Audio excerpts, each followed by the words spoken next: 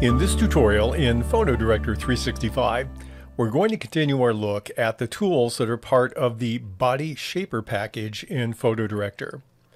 To do that, you load your image as I have, and then click on the Guided tab at the top, the Guided button, and then we're going to expand the first category called People Beautifier and choose our Body Shaper. We're going to be on the first tab on the left, the one we've been focusing on. And then we have already looked at the forward warping tool.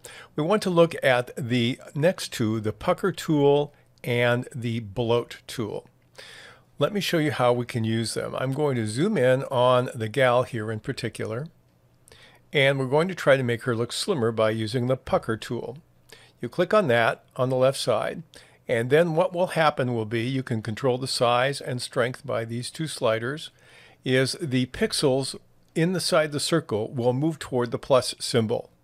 So you can slightly take anything that looks like it's larger than you want it to be and you can drag as you hold the button down as well. And so you can reduce the apparent area covered by the fabric in this particular case. And so you see we've changed it. Now you have to be careful, especially with patterns. Now this is a good pattern because it's a little ambiguous what it should look like. And so we can take it and change it simply by holding this down and using the pucker to make the area seem smaller. Then when we click on the pencil at the bottom and hold it, hold the left mouse button down, we'll see the before and I let go and we see the after. So in this case, it's made somewhat of a positive change. So that's what the pucker tool can do. Again, it works best on fabric or clothing that someone is wearing to give the appearance of a slightly smaller form. So that's the pucker tool. Now we're going to look at the bloat tool. We'll back out for a bit.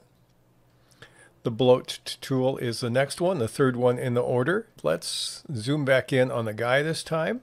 Okay, now, again, we don't want to bloat human skin normally. I could make his tummy look a little bigger here.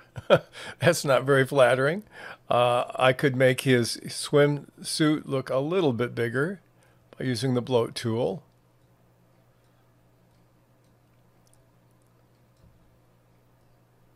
But basically, this is a tool that I won't use hardly at all.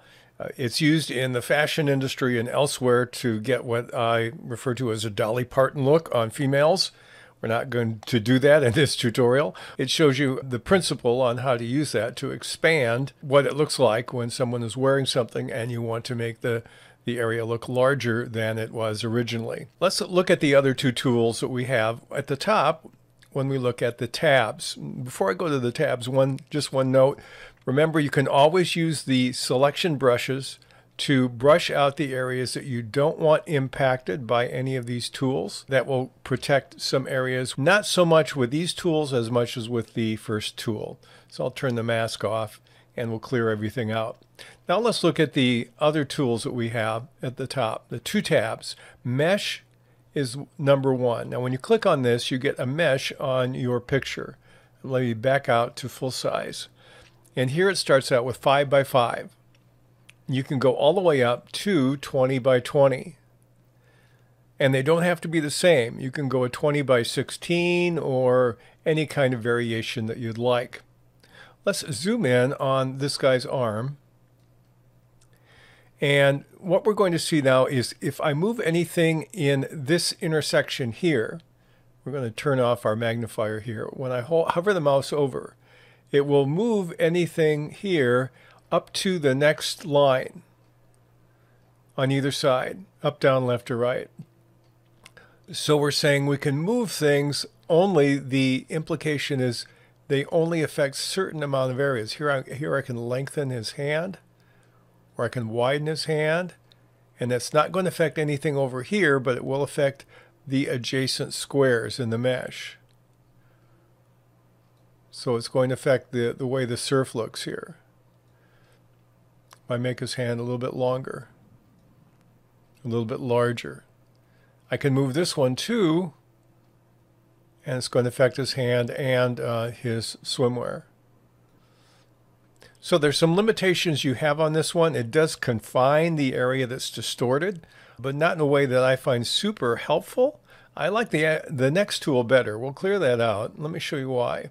The next tool is kind of what I call your uh, homemade mesh. It's your mini mesh. And what I'm going to do is try to lengthen his arm from the wrist down. So I'm going to click here. Anywhere you click, you're going to create a, a point. And here I can move it, but you know what I prefer to do? We'll clear that out. I prefer to, to do like a, a double layer because I say, okay, I don't want anything beyond this point to be impacted by it. We'll go down here. We'll set another one here. And now what I can do is I can move these two, and that, that's going to make his hand longer. Maybe even want a third one here. Let's move this one. We're going to make his fingers longer, and this one will make this part longer. I might even want another one over here that's not impacted. And we'll take his thumb and make his thumb longer.